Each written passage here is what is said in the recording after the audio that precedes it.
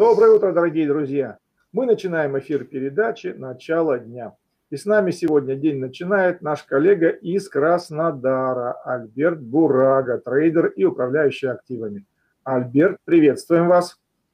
А, приветствую, Игорь Николаевич, приветствую, друзья. Всем с добрым утром, у кого это утро, у кого обед, хорошо перекусить. Вот, ну а всем остальным, в общем-то, по вашему желанию и по вашим возможностям. Вот. Ну, а у нас э, по плану сегодня обзор рынков. Посмотрим, что у нас есть к концу недели. А вот что у нас было и, в общем-то, что можно ожидать. А вот. Да. Тем более, что неделька была очень интересна, надо сказать. А, особенно был вторник. У нас там чат, скайп-чат просто разрывался скринами.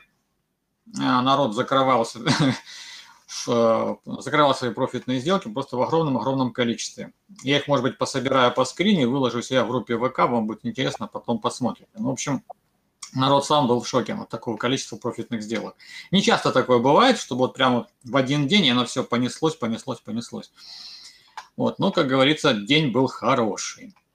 Э, так, э, теперь давайте мы начнем с рынка Форекс по традиции, потихонечку уже будем переходить дальше. Что касается рынка Форекс на этой неделе, то у нас первое, что это экспирационная неделя. Следовательно, начиная где-то со среды, то есть со вчерашнего дня, мы уже потихонечку начинаем смотреть на рынок со стороны. Мы не работаем по индикатору страйк, поскольку контракты уже участниками рынка начинают а, закрываться, появляются лишние кон э, контракты, которые приносят шум в наш анализ, и мы не можем, в общем-то, уже действительно квалифицированно оценивать риски по нашим сделкам. Это очень важно.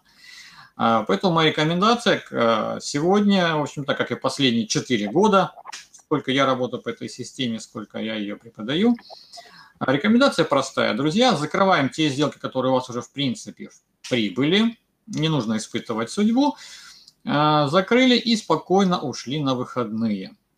Вот. А, работать можно, в общем-то, по индикаторам полутехническим, конечно, а, вот, в том числе это импульсная торговая система, но по индикаторам Strike, например, SIP, уже крайне-крайне не рекомендую. Хотя индикатор SIP доказал свою устойчивость даже на экспирационном периоде, но все равно.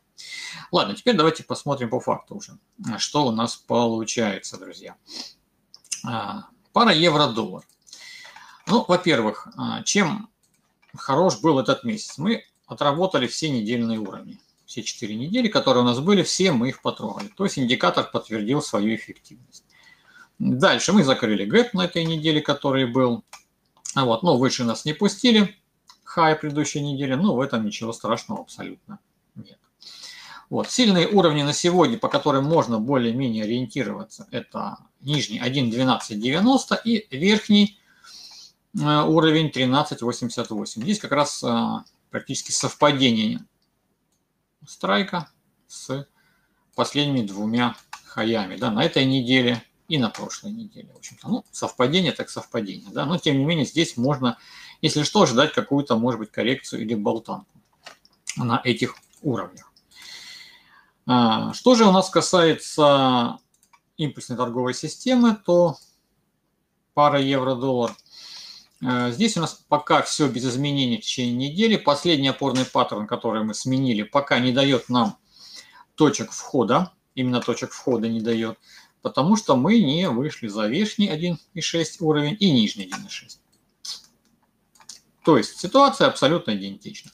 Что первый сценарий, что второй сценарий, да без разницы. Куда пойдем, тогда будем смотреть. То есть главное добежать до уровня 1.6, определиться, получить стартовую свечу и дальше побежать. Разумеется, при раскорреляции индикатора силы валют. Это очень важно. А вот. Э, э, далее, наш фунт. А, что по фунту? Фунт у нас неплохо, в общем-то, дал нам заработать на этой неделе. У нас был сигнал 3 декабря в понедельник на снижение. Вот мы заходили от страйка и, в общем-то, прыгали до 9 утра следующего дня. Почему? Потому что у нас здесь был как раз переворотный сигнал на бай. да, били. А вот, но я по нему не заходил, и я об этом говорил во вторник, потому что, в принципе, индикатор страйк уже для меня перестает быть значимым на этой неделе. Поэтому я вот первую свою позицию закрыл в плюс, и по второй не заходил. Хотя вы видите, что вторая тоже, в общем-то, отработалась. Интересно. Интересно. А, вот такая ситуация. Далее, месяц заканчивается этим инструментом очень неплохо. Да, мы на нижней границе канала хеджеров. Видим, что была попытка раз отбиться, два, возможно, будет еще третья, возможно. Но участники рынка ниже границы не пускают, они, в общем-то, хотят экспирацию провести внутри границ канала. Что, в общем-то, понятно, потому что а, им терять деньги не хочется. Вот они постоянно отфутболивают вот границы канала хеджеров. Вот. Ну и недельный уровень также был отработан идеально на, в этом месяце. Раз неделя, два неделя, видим, три недели, да, трогали, четыре недели, в общем-то. Хорошо отработал индикатор, скажу. Очень-очень хорошо. Все. Ну, то есть э, по сильным уровням, разумеется, у нас это граница канала хеджеров. Если кто-то хочет как-то поработать сегодня. Ну, опустимся, здесь будет какая-то болтанка. Видим, что от него уже два раза шпильками просто вот как от, как от огня отскакивали. А, по уровням Фибоначчи, по нашей второй системе, пока все глухо. Видим, что мы топчемся на 6,8, ниже мы не работаем по правилам, выше мы не ходим. Индикатор силы валют постоянно не может нам ничего показать, раскорреляции нет. Это хорошо, потому что он бережет наши с вами деньги. Поэтому у нас сценарий простой. Либо мы опорный паттерн здесь находим какой-то, какой-то, да, где-то там какой-то, и начинаем уже от него новую сетку строить и работаем. Э, сам жду этот момент, но пока ни я, ни друзья в чате найти этого не могут. Ну и хорошо. Нам и так есть чем поработать. Австралийский доллар отлично нам дал заработать на этой неделе. У него был сигнал по индикатору Strike 4 декабря. А плюс у нас был гэп, все мы это помним, да, и был момент, закроем мы его, не закроем. Закрыли по индикатору страйк, сходили вниз, взяли здесь а, какое-то количество пунктов. У нас народ настрелял хорошо в чате, 80 пунктов. Кто-то из особо таких, вот скажем, а, терпеливых смог дождаться похода до красного балансового уровня. Кто-то писал у нас в чате, что ребята, жду до красного уровня. Хорошо, молодец. В общем-то, сигнал себя оправдал. 130 пунктов. Вот, хотя, в принципе, по системе а, нет такого ориентира. Именно по этому сигналу. У него ориентир примерно 80-100 пунктов до ближайшего сильного страйка. Все. А держать до красного, ну, в принципе, да, это было, может быть, очевидно, с учетом того, что пробивали мы последний раз красный балансовый уровень новостной свечой вот такой вот, и ждали коррекцию все-таки вниз до красного балансового, не получилось, был гэп. Ну, хорошо, второй, как говорится, пендель. И мы дважды все это дело отработали. Была в этом своя логика. Согласно, опять-таки, опционного а, анализа рынка. Сильный уровень на сегодня у нас 0,7241. Хорошо, работаем от него. Ну, будем здесь, в общем-то, болтаться какое-то время.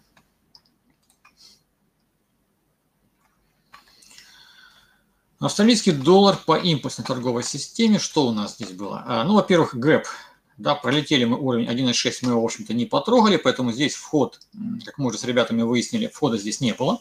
Вот, хотя странная, ну, редкая ситуация такая, в общем-то, давно не возникала, я даже сам ее сразу оценить не смог, что здесь происходит. Но потом мы уже ушли под уровень 1.6, здесь у нас запретная зона. Сейчас мы видим, что а, цена выскакивает ниже отметки 1.6, индикатор следовали показывает раскорреляцию, и, в общем-то, можно было вот здесь вот входить на этой свечке, которая закрывалась ниже уровня 1.6, после чего цена пошла вниз, дошла до середины диапазона, и по правилам мы должны были перевести наш ордер без убыток. И, разумеется, вот буквально в текущем часе вот шпилька нас выбивает без убыток. Все. Сделка закрыта по безубытку, а минусов никаких нет. Ждем дальше, какие ситуации у нас будут. Если пойдем вверх, здесь запретная зона, пойдем ниже – от уровня 2.6 до 4.2 уже, конечно, интересно ходить. Здесь и потенциал побольше, здесь уже есть где развернуться, и вероятность того, что вас выбьет по безубытку, в случае просто каких-то движений непонятных на рынке, таких э, вариантов мало, 56 пунктов. Да. А, хорошо. Так, дальше поехали. Опс, не тот. Не тот терминал. Так, канадский доллар. Ну, здесь вообще все просто сказка. Последний месяц у нас была одна хорошая сделка по индикатору Strike. Кстати, индикатор Strike можете скачать бесплатно на моем сайте invisible.guru. Прям забили в поисковик, зашли. Там есть раздел а, «Загрузить» или «Traders Workshop» называется, мастерская трейдера. Зашли, скачали бесплатно, в общем-то, и пользуйтесь. СИП и Strike бесплатно. Вот. Единственное, что а, вы, скачиваете сегодня, ставите себе сегодня на платформу, а работать у вас он будет с завтрашнего дня. То есть мне нужно его просто будет включить. Поэтому сегодня поставили, посмотрели, завтра он у вас заработал. Итак, вторая сделка по канадскому доллару тоже была хорошо. Плюс все они примерно по 120 пунктов, это сигнал канадского доллара. И последний сигнал тоже был на 120 пунктов по сигналам индикатора Strike. Причем здесь был э, первый вход, на следующий день второй вход. Э, по правилам первый вход, в закрывался без убытки, и мы держали второй вход, поскольку он был по лучшей для нас цене открыт. Все, и также 120 пунктов. Хотя кто-то в чате э, держал еще дальше. Вот они почему-то были уверены, что на новости мы еще подскочим выше. Но никаких предпосылок к этому я не видел. Я смотрел внимательно а, таблицу ФОП, смотрел страйки. Хотя страйки сейчас уже очень-очень-очень а, не показатель для нас, я уже говорил. Уже все. Вот, но кто-то додержал, кто-то здесь взял. Молодцы, что сказать. А по импульсной торговой системе канадский доллар, да, удалось здесь запрыгнуть, немножечко взять между уровнем 1.6 и 2.6, чуть-чуть взяли. Вот, вот это все движение, конечно, уже без нас прошло, ну, по крайней мере, без меня. Я здесь взял, больше у нас здесь, э, ну, здесь входов не было на самом деле, от 2.6 до 4.2. Кто не закрыл здесь позиции, держал дальше, ну, хорошо. Но по правилам нужно было закрыть, поэтому только лишь по системе можно констатировать факт получения прибыли в размере 45 примерно пунктов. Это если четко по системе. Вот. Все остальное это уже, в общем-то, э, натягивание э, ежа на глобус. Вот, может получиться, может и лопнуть. Так. Швейцарский франк. А, ну что у нас здесь? Как мы заканчиваем наш период? А, снова напоминаю, что одна из сделок у меня стоит от 31 октября. Вот сейчас тут в моменте у нас есть прибыль. Ждал я ее, кстати, в том месяце до красных балансовых уровней. Потом эти уровни съехали ниже через, а, после экспирации, и уже как бы take profit стал а, больше, потенциально больше. Но туда мы не сходили. А вот зато сходили вот практически до границ канала хеджеров с 10% недолетом. Это вот то, о чем я обычно и рассказываю, как работает рынок, такая механика рынка. А, Сделок по нему не было по швейцарскому франку в этом месяце. Ну, кто-то заходил здесь, но это не совсем по правилам. Да, был один паттерн, был второй паттерн open close, то есть кто-то здесь мог постоять. Но это не совсем по правилам. То есть я здесь не работал в этом месяце. Посмотрим, как у нас пройдет экспирация, где будут уровни, канал на следующей неделе. Франк единственный инструмент, который, в общем-то, у нас глубоко-глубоко наплевал на границы канала, открылся выше, в общем-то, и закрывается выше. И ему все-все до лампочки. Ну, это франк, у него, в общем-то, на все есть, наверное, свои какие-то объяснения. Вот, ну, мы по франку в этом месяце, в принципе, ну, по крайней мере, я ничего не заработал, ну и ничего и не потерял. А теперь франк, что же у нас по импульсной ТС нашей. Последняя сделка была в минусе, было такое. Ну, а дальше четко просто ходили между уровнями 4,2, 2,6. Ни туда, ни сюда, поэтому входов не было. Пойдем выше, пожалуйста, можно туда вот, выше, на 6,8, да. Если пойдем ниже, можно и ниже. В общем-то, мы потрогали и верхнюю, и нижнюю границу, поэтому теперь в обе стороны можем спокойно, без всяких напрягов, спокойно-спокойно проходить и посмотреть, что у нас там получается. А, так, иена. Иена тут привела всех в шок, в общем-то, вчера, потому что мы закрывали нашу очень длинную сделку. Сделка нам принесла четко по правилам системы 135 пунктов примерно. А, вот, то есть здесь тоже применялась система перезакрытия и вход по лучшей цене, точнее удержание сделки по лучшей цене. Был первый вход, был второй вход по правилам. Сходили вниз, закрыли первый вход без убыток или с маленьким минусом и держим вторую сделку, переведя ее в безубыток. Это правило. Все. Дальше просто все зависит от вашего терпения. Конечно, было непросто, когда цена два дня шла вверх против вас. Но, тем не менее, все было здорово с учетом того, что мы еще получили подтверждение 4 а, числа о продолжении движения вниз. По индикатору страйк набор там 1200 контрактов. Было здорово. Вот, то есть получили вот такой вот сигнальчик. И его отработали. Все, то есть ребята здесь хорошо тоже заработали. Система дала взять свою прибыль. А, что у нас на сегодня? Так, что ж ты не берешься? На сегодня у нас, в общем-то, ну, по индикатору страйка ориентироваться сложно. Цена находится между верхней верхней границы канала хеджеров и нижней. Здесь все в порядке, все работает. Никому иена не должна в этом месяце. Абсолютно. А, вот.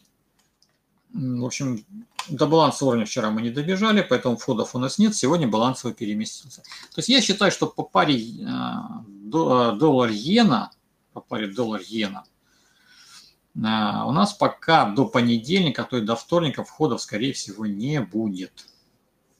Ну, это опять-таки с моей колокольни.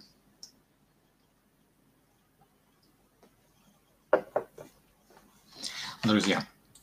А вот. А, так, это по валютам. Теперь давайте по металлам. Металлы, так, серебро смотреть не будем. Посмотрим золото. А, золото у нас дало хорошую прибыль на этой неделе. У нас был сигнал по индикатору страйк. Вот мы вот уже все отслеживали. Вот по-прежнему, кстати, держу еще сделочку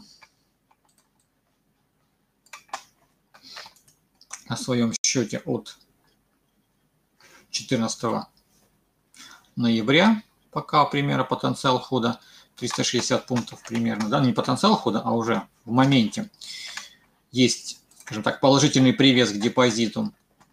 А, что у нас сегодня по золоту? Ну, давайте посмотрим, кстати, новые индикаторы, которые мы уже потихонечку тестируем с ребятами в нашем чате. Они очень нам помогают, потому что они отмечают все объемы вот во всем этом нашем, на всей карте звездного неба, да, где непонятно, какие точки, цифры все стоят. И новые индикаторы нам уже начинают подсказывать, отмечать все эти созвездия, показывать наборы, скидывания контрактов, именно так, как мы это все настроим. Итак, у нас, в общем-то, был подход к нашему сильному уровню вот здесь вот. Я об этом говорил, как сильный уровень определить. Кто не смотрел еще мои открытые вебинары, посмотрите на YouTube-канале. А, зайдите, там они все лежат в свободном доступе. И пока отскочили, причем уже дважды, раз-два. И исходя из того, что я вижу вот сегодня по наборам, а, по наборам. У нас, нас вверх пока не пускают, поэтому возможен флэт и небольшая коррекция вниз до, может быть, красного балансового уровня. Вот сюда. Давайте я ценовую метку сейчас поставлю. 12.29. А, вот. То есть вот сюда мы можем опуститься. Здесь какое-то время по флетим, друзья. Вот такой момент я по золоту для себя вижу. Так, теперь давайте посмотрим, что же у нас по срочному рынку. Перейдем, глянем. Так, начнем с индекса РТС.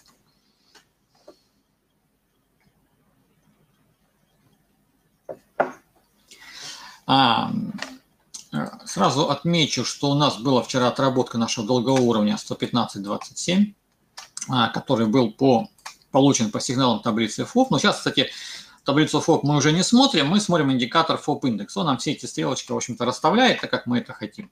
Вот. А, здесь а, получилась такая ситуация, что если у нас по индикатору закрытие дня происходит а, не выше, да, должно быть выше по сигналу, закрытие дня, то сигнал считается неотработанным и записывается этот уровень открытия в долговой. Вот так вот. Я его помечаю зеленым уровнем то есть здесь мы закрывались ниже, получается. То есть получили долговой уровень. И цена его, в общем-то, отработала вчера. Так же, как это было с отметкой 115, допустим, да, ну и так далее. А, вот. А сегодня у нас есть сигнал по таблице ФОП точно такого же порядка. Поэтому либо мы закрываемся выше открытия, да, либо же, если закрываемся ниже открытия, ставим себе его в долговой, и цена к нему будет возвращаться. Вот это простое правило, в общем-то, по сигналу мы работаем. А, сегодня я смотрю, что у нас э, практически нигде не вижу никаких приростов по индикатору. Страйк, кстати, надо будет посмотреть, почему. А, вот, поэтому по индикатору страйк мы не ориентируемся. Внизу у нас есть паттерн дуплет, кстати. А, если случаем до него плюхнемся, то от него будем отскакивать. Очень сильный паттерн, работает очень хорошо, но, к сожалению, не так часто получается. Вот, что еще? Еще было, еще было отработано с долг 113, это пробитый балансовый уровень. Отлично.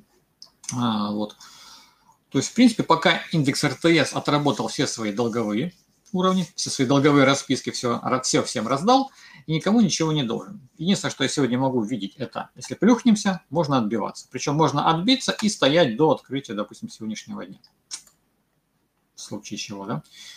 Это неплохой потенциал хода. То есть это вот такой маневр, который можно использовать. Э, дальше. А, внутридневной индикатор, который мы сейчас тестируем, в общем-то, в нашей группе, что нам давал за последние пару дней? Давайте глянем. Так. А, ну, во-первых, у нас был сигнал колы на определенных страйках, на определенных страйках давали резкий скачок в течение определенного времени, это очень важно. А, путы, путы, простите. Путы давали резкий скачок, следовательно, это был у нас сигнал на снижение вниз. Вот мы прокатились. При том, что вот 4 числа э, колы, зеленая линия, они практически не набирались, были ниже плинтуса. Все. То есть сигналов на движение вверх по индексу РТС никаких не было. А вчера у нас был такой, было такое вялое движение, никакое абсолютно. Да, и причем закрывали мы день без явного перекоса, ни по колам, ни по путам, видите. Поэтому весь день был для нас, в общем-то, непредсказуем. Ну и, кстати, весь день не было никаких наборов. Колы вообще закрывались, видим, да, ниже уровня ушли путы, как-то дергались, дергались, но ничего толком сделать не смогли. Поэтому сегодняшний день для нас тоже, в общем-то, пока непонятен. Ну, видим, что, в общем-то, путы пытаются на, набирать, колы пока не набирают. Первый час у нас проходит. А, вот, но при этом тоже вижу, что у нас есть такое большое аномальное закрытие а, аномальное закрытие путов. Кстати, ну, может, это просто в первом части кто-то фиксировался. Ладно, посмотрим. Пока нет необходимого набора ни, ни, ни по колам, ни по путам, поэтому сигналов у нас нет. Так, что касается теперь на часовом. таймфрейме этого же индикатора, да. Сейчас я перепишу индикатор. Пусть ребутнется, посмотрим. А, что у нас было? Ну, по сути, пока в последнее время ничего я не вижу по индексу РТС. Вот, ну, может быть, вот было у нас вот в этом дне. Хотя нет, тоже небольшие значения, небольшие наборы. Нет у нас здесь наборов, чтобы что-то говорить. Ладно.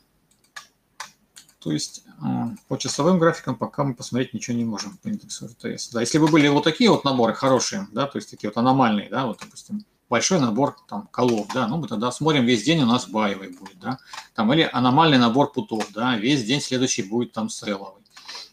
Вот, но это отметка в 20 тысяч контрактов, мы до нее пока не доходим. То есть ничего у нас нет на сегодня. Ну и на последние пару дней тоже. Так, «Газпром». Теперь по классическим индикаторам СИП и страйк смотрим. Отработка долгового уровня потому что мы закрывались ниже в тот день, когда был получен сигнал. Подскочили, мы его отработали. Все. А дальше мы никому ничего не должны. Вот. Ну, сегодня, если, кстати, подскочим к верхнему балансовому уровню, можно будет тоже работать на отскок до отметки 16.135, пожалуйста. Здесь можно будет. Но, судя по тому, что я вижу, как у нас, какая активность на рынке происходит, то есть вот тот же самый индикатор посмотреть, вот здесь вот хоть что-то у нас было, какие-то хоть колы преобладали 4 числа, и можно было рассчитывать на какое-то движение баевое, да, так же вот как и 3 декабря преобладали путовые, и мы могли более хоть как-то рассчитывать на какое-то снижение в течение следующего дня, то вот вчера, 5 числа, вы видите, вообще никакого движухи не было. То есть вот это вот движение, оно было, в общем-то, обусловлено скорее а, ситуацией именно 4 числа. А что будет сегодня, понятия не имею. Движения не было. Так, Сбербанк. Что у нас по Сбербанку? Значит, отбой от верхнего балансового уровня. Хорошо мы отработали. В общем-то, кто-то мне там в группе ВК присылал даже скрины по этому. Потом как отработали. Профит взяли. Так, э, дальше. Пока на красном балансовом уровне болтаемся, и ничего тут особого я не вижу. Ну, пойдем вниз, отбой от коричневого баланса уровня и поднимаемся до нашего take профита. Потенциал хода у нас здесь примерно сколько будет? Давайте, ну, 315 пунктов, что, в принципе, не так плохо. Так, сишка, да, теперь давайте посмотрим. А, нет, стоп, что у нас Сбер по индикаторам внутридневным? Ну, не было тоже ничего интересного. Последние дни до нашего уровня мы не доходили. Четвертого пытались за него выскочить, видим, да, то есть вроде как снижение. Но потом упали к концу дня, в общем-то, все, мы без сигналов. Вчера мы шли без сигналов, и вчера активности не было никакой у опционистов на рынке. Сегодня тоже день непредсказуемый. Вот вообще как-то у нас синхронно, вот, в общем-то, по всем инструментам как-то все-все-все вяло. Так, дальше Си, смотрим, рубль. Так, был у нас сигнал по таблице ФОП, улетали вниз, закрывались ниже, следовательно, долговой уровень появился, и мы его также отработали. Все, 67, 126. Вот. Ну, точно так же, как мы отрабатывали сигнал 30 ноября. Должны были закрыться ниже по сигналу, нас у... У... подкинуло вверх, потом мы его добивали шпилькой, видите, добили. А сегодня сигналов я не вижу, стрелок нет, все тихо. Ну, в общем-то, флет, флет, поэтому если подойдем к верхнему балансовому уровню, ну, можно работать на отскок. Тоже здесь что-то себе можно положить на кошелек. Так, сишка. Ну, сишка внутри дня я, в принципе, не смотрю. А, смотрю ее, в общем-то, как правило, на следующий день сигналы. Ну, что у нас было? У нас был только вот, наверное, вот такой вот аномальный набор путов 30 ноября, после которого мы свалились вниз на следующий день. А, вот, ну и у нас пока все. Пока все. Наверное, больше ничего не вижу. Пока все мелкие какие-то наборы. Такая мышиная возня. Так, окей. Теперь что по нефти. А нефть пока идет во флете. Там у нас какие-то заседания ожидаются. Сегодня ребята в чате уже нам писали. А, поэтому пока нефть, наверное, будет так вот двигаться в коридоре. Я посмотрю, что с ней будет. А, возможно, раньше понедельника даже к ней и не вернусь. Ближайший долговой уровень 65-68, который вполне может цена закрыть. Вот по таблице ФУ пока все тоже глухо-глухо, тихо и тихо. А, вот такой вот момент, друзья, по нефти. Так что пока постою в стороне. Вот, предварительный анализ вам дал. Конечно же, это предварительный. Он еще в течение дня может корректироваться, потому что все сразу заметить и усмотреть невозможно. Это понятное дело. Вот. Так что все остальное мы уже в чатах с ребятами договариваем. Ну вот, у меня пока все. Если какие-то вопросы есть, давайте могу на них ответить.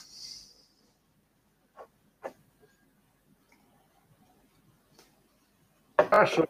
Спасибо большое, Альберт. Пожалуйста, коллеги, ваши вопросы. Я единственное не соглашусь, вы сказали, э, давайте остановим демонстрацию рабочего стола. Вы сказали, рынок никому не должен. Альберт, если посчитать все мои стоп-лосы за всю жизнь, рынок мне очень должен.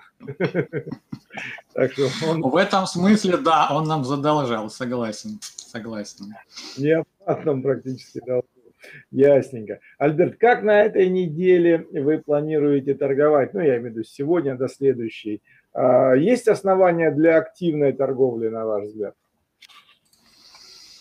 Ну, если с моей колокольни, по моим инструментам, угу.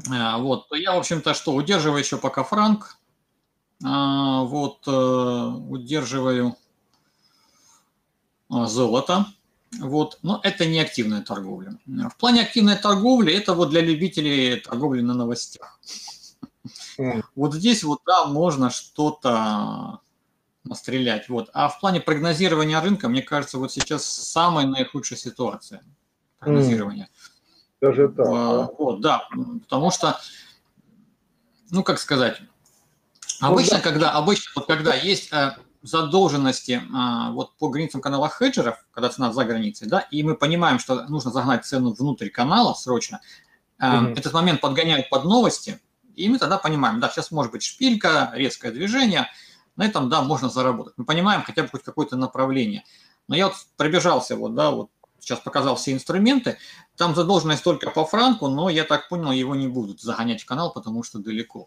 Вот, следовательно, нет направлений никаких вот для того, чтобы торговать на новостях. Вот. Но это опять-таки это с моей колокольни, я понимаю, что сейчас некоторые думают по-другому, в общем-то, и это абсолютно правильно. Чем больше мнений, тем лучше на самом деле. А, вот, пожалуйста, ну, да, действительно, только, может быть, на новостях где-то можно что-то там, вот, в общем-то, подзаработать.